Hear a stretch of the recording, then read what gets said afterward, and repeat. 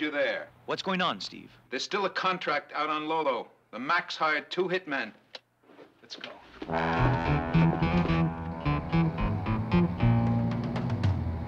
Duke, anything going on with the well-dressed set?